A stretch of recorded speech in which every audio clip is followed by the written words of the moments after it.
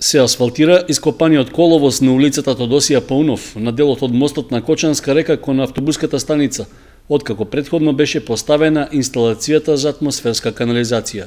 Според најавите, за два дена треба да се врати во нормала и одбивањето на сообраќајот во овој дел од градот, каде во изминатиот месец имаше метеж, чести застои нервоза кај возачите и пешаците.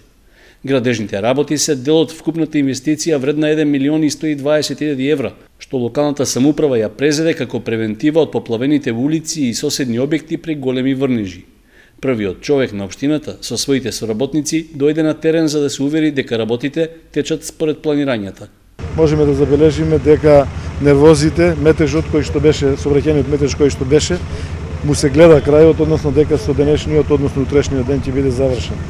Со ова една поголема фаза од атмосферската канализација заминува, одминува и можам да порачам на граѓаните дека а, уште малку ни останува да ја завршиме целата улица Тодосија Паунов. Димитровски рече дека е завршена и предлог програмата за изградба и одржување на општинските патишти и улици за 2015 година.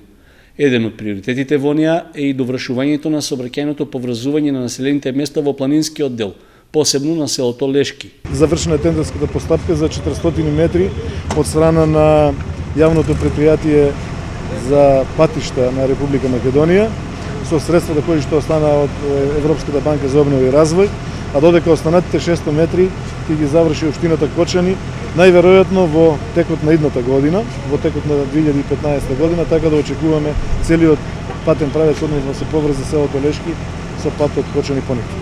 Според пресметките, за довршување на патот до Лешки потребни се околу 5,5 милиони денари, што локалната власт очекува да ги добие од државата преку проектот за рехабилитација и подобрување на општинските патишта во Република Македонија. Исто така, од Центарот за развој на Источниот плански регион ќе се бараат пари за довршување на преостанатите 2,5 километри на патниот правец од селото Рајчани до Турско Рудари.